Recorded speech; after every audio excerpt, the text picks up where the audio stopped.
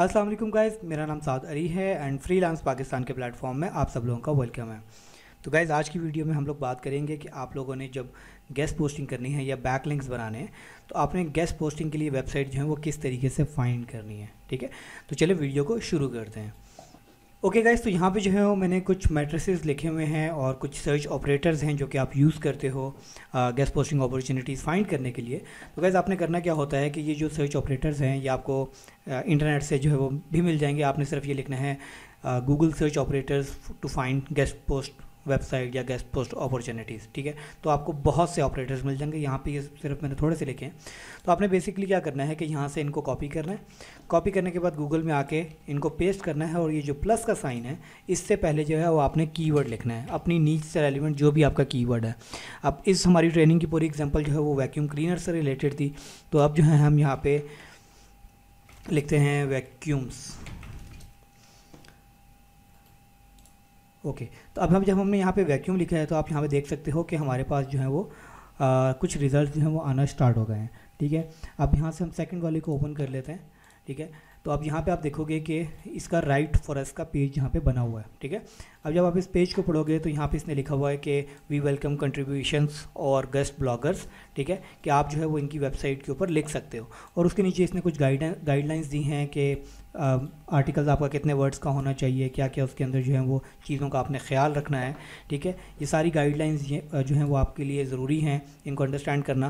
Because अगर तो आप ख़ुद आर्टिकल लिख रहे हो तो फिर ये आपको ख़ुद पढ़ के इसकी बेस के ऊपर आर्टिकल लिखना पड़ेगा। अदरवाइज़ अगर आप अपने आर्टिकल को आउटसोर्स करवा रहे हो तो आप ये वाला यू जो है, आप अपने आर्टिकल राइटर को दो कि इन चीज़ों की बेस के ऊपर जो है वो आप आर्टिकल जो है वो जो लिखे, ठीक है?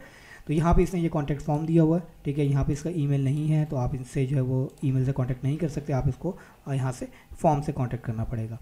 तो आपने क्या करना है बेसिकली आपने जो है ये मैट्रिस जो मैंने यहाँ पे लिखे हुए हैं, जो जो वेबसाइट 25 प्लस होंगी और उनके पास थाउज़ेंड प्लस ट्रैफ़िक होगा तो उनको जो है वो आपने रीच आउट करना है, ठीक है? आप क्या करो कि आप जो है एक जो है अपने पास एक्सेल शीट बना लो इस तरीके की, जिसके अंदर जो है वो आप इनकी जो है वो ये डिटेल्स जो है यहाँ पे लिखोगे। सबसे पहले जो है वो आप लोगों ने डोमेन नेम लिखना है, कि उसका डोमेन नेम क्या है, यहाँ से आप डोमेन नेम कॉपी करोगे और यहाँ पे आके पेस्ट कर दोगे। उसके बाद डी ए और पी ए चेक करना है। डी ए पी ए जो है वो आप मॉस की जो एक्सटेंशन है उससे जो है वो चेक कर सकते हो। यहाँ पे आप देखो कि 29 इसका डी ए है और पी ए जो है वो 31 है। ठीक है?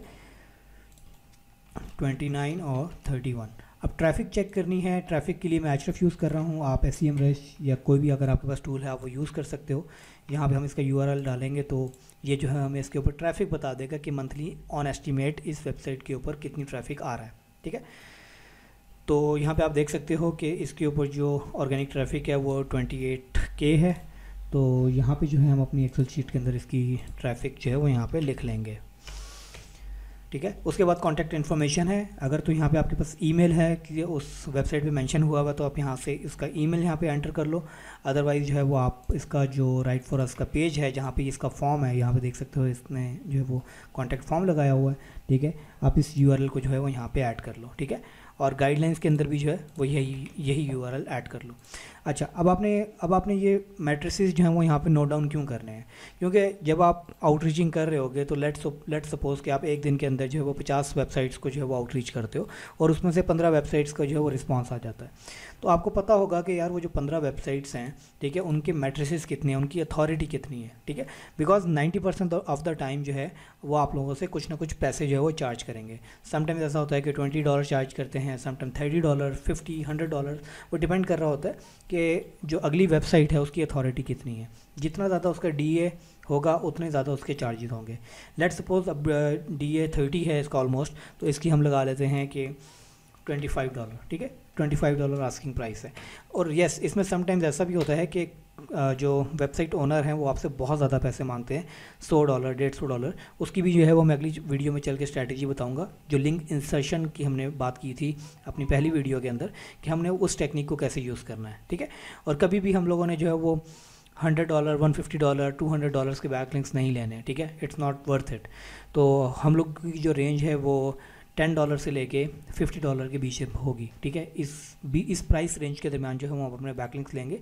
डिपेंड कर रहा होगा कि उस वेबसाइट की अथॉरिटी कितनी है, ठीक है? तो इस तरीके से आपने जो है यहाँ पे लिस्ट सारी बना लेनी है। तो इसी तरह सेम जब आप जो है वो इस राइट फॉर अस के पेज पे आप देखोगे तो इसमें आपको और भी मज़ीद बहुत सी वेबसाइट जो मिल रही हैं, ठीक है? इसमें जितनी D A twenty five plus हैं, वो आपने उठा के उस लिस्ट में डाल देनी है और उसका जो है वो सारी डिटेल्स जो है वो फिल आउट कर देनी है, ठीक है? और इसी तरीके से ये बाकी जो है क्या नाम है सर्च ऑपरेटर्स हैं हमारे पास, इनको भी आप यूज़ कर सकते हो। इनके, इन, इनको, इनके ज़रिए जो है वो मज़ीद वेबसाइट जो है वो आपको मिल जाएँगी। लेट मी शो यू अब यहाँ पे हम कीवर्ड लिखते हैं डिफरेंट पहले हमने लिखा था वैक्यूम अब यहाँ पे हम लिखते हैं कारपेट क्लीनिंग या फ्लोर क्लीनिंग। ठीक है? अब यहाँ पे आप देख सकते हैं कि आपको मज़ीद जो है वो home improvement write for us design 28 same इसी तरीके से आपको जो है वो मज़ीद वेबसाइट जो है यहाँ से मिलना शुरू हो जाएँगी। ठीक है? तो this is one of the strategy जो कि गेस्ट पोस्टिंग के अंदर यूज़ होती है। अब यहाँ पे भी सेम इसी तरह है कि उसने जो है वो आपको इम्प्रूव गाइडलाइंस दी हुई हैं कि जो आपने आर्टिकल लिखना है वो थाउज़ेंड वर्ड्स का होना चाहिए। इन्फोग्राफिक है seven hundred minimum sponsored guest post है, ठीक है? और एग्जांपल इन्होंने दी हुई हैं कि अगर आपने अपने राइटर को एग्जांपल देनी है तो इस एग्जांपल की बेस के ऊपर इससे इंस्पिरेशन लेके जो वो लिखेगा। इसने कॉन्टैक्ट एड्रेस दिया हुआ है, यहाँ पे